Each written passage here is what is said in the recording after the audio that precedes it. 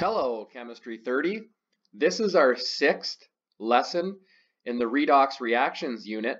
This is spontaneity of redox reactions.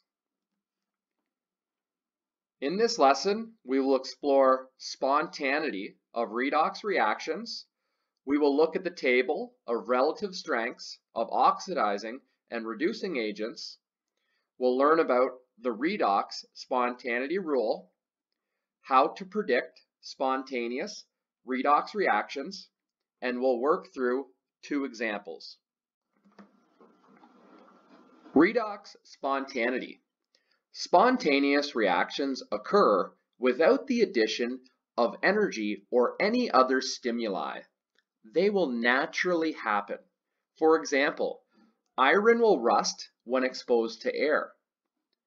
Non-spontaneous reactions will not occur without the addition of energy or another stimuli. For example, the combustion of methane or any combustion, for example. First, you require an initial heat to start that combustion reaction. It will not automatically happen. On page 7 of the Chemistry 30 data booklet, is the strengths of oxidizing and reducing agents table. In the table, reduction half reactions are read from left to right. As a result, the electrons would be located on the reactant side, representing the gaining of electrons. Oxidation half reactions are read from right to left. As a result, the electrons would then be located on the product side, representing the loss of electrons. Oxidizing agents are on the left side of the table and the strongest are at the top. If we read the reaction from left to right, we are looking at a reduction half reaction. Therefore, lithium ions would be considered an oxidizing agent. Reducing agents are on the right side of the table and the strongest are at the bottom. If we read this reaction from right to left, we are looking at an oxidation half reaction. Therefore, barium solid is a reducing agent. Please note that some oxidizing and reducing agents can be combinations.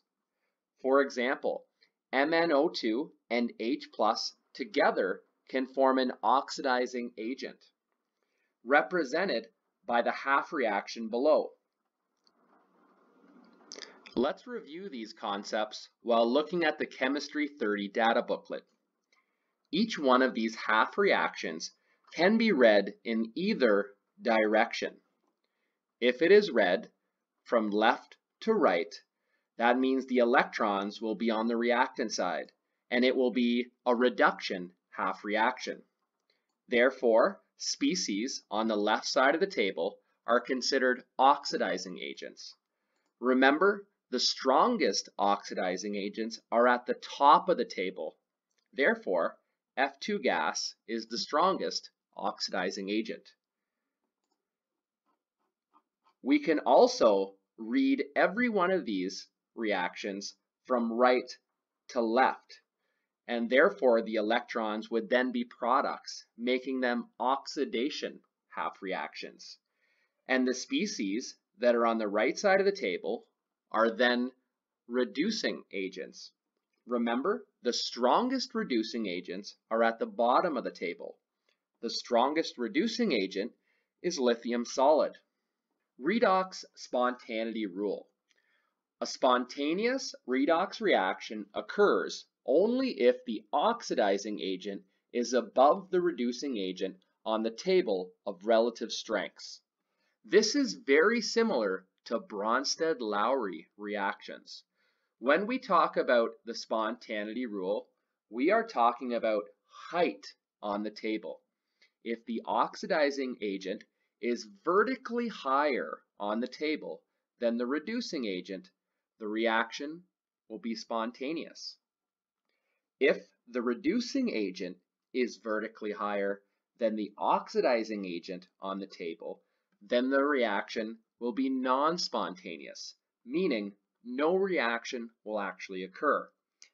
And finally, if they are at the exact same level, again, the reaction will be non-spontaneous, meaning no reaction will occur.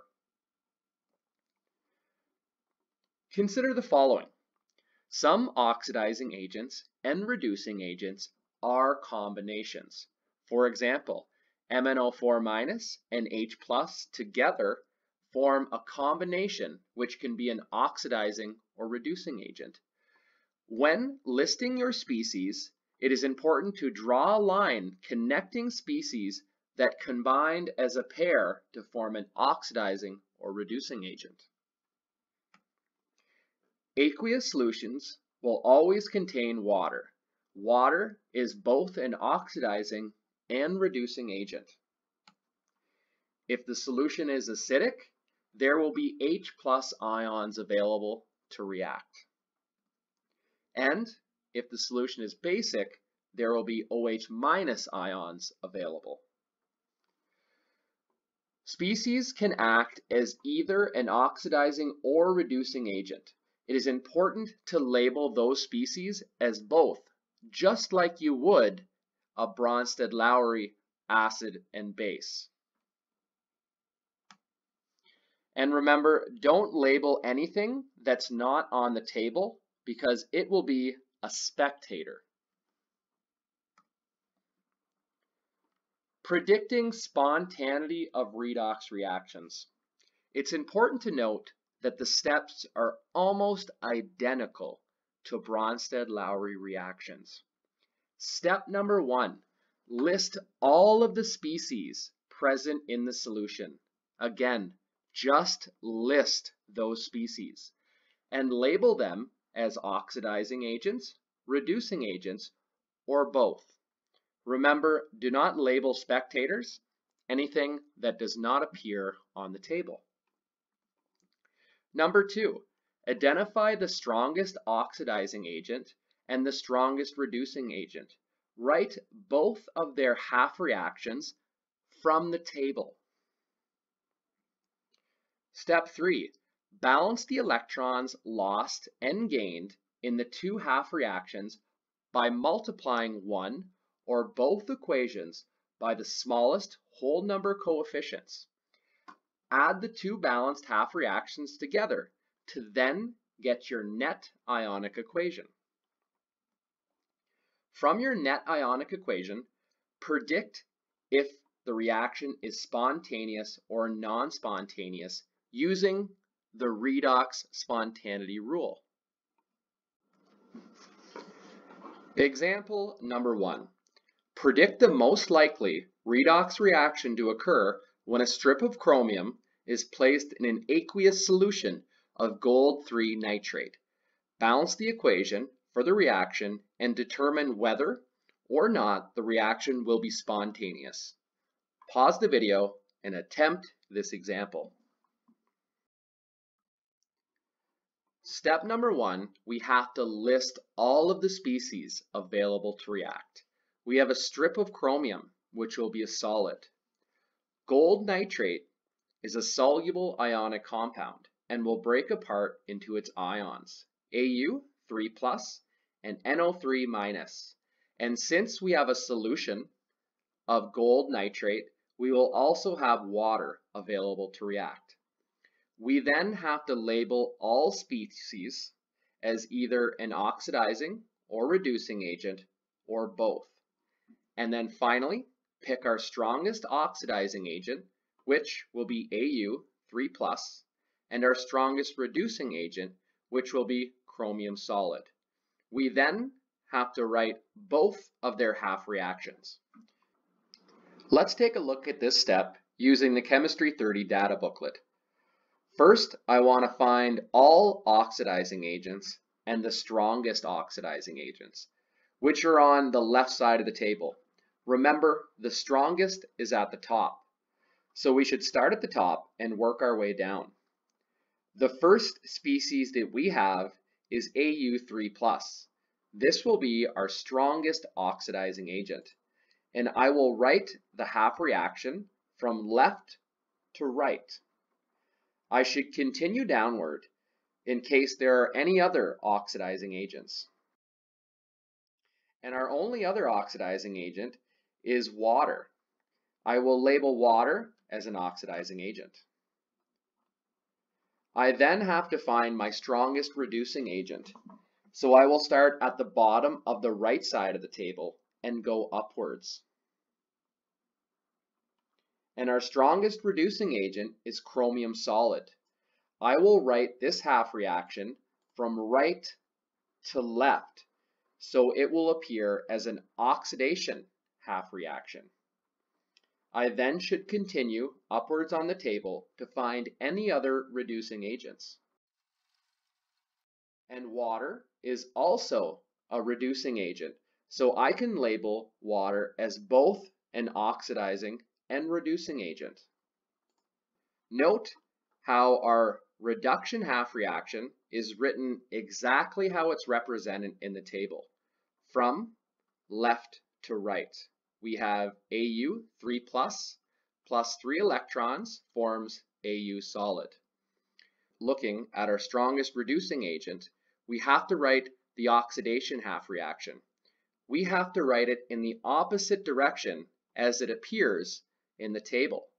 We will then write chromium solid forms Cr2 plus plus 2 electrons. Since the electrons are on the product side, this is an oxidation half reaction, which then allows the electrons to be on opposite sides of both half reactions, which will eventually allow them to cancel out. In our next step, we have to get the electrons in each half reaction to equal the same value. So we will times the first half reaction by 2 and the second half reaction by 3. This will then cancel out the electrons in the two half reactions. As a result, when we put the two half reactions together, we're left with our most likely redox reaction, which is 2 Au3 plus plus 3 Cr solid forms 2 Au solid plus 3 Cr2 plus. We can then determine if the oxidizing agent is higher on the table than the reducing agent, and it is higher on the table. So as a result, this reaction will be spontaneous. Example number two.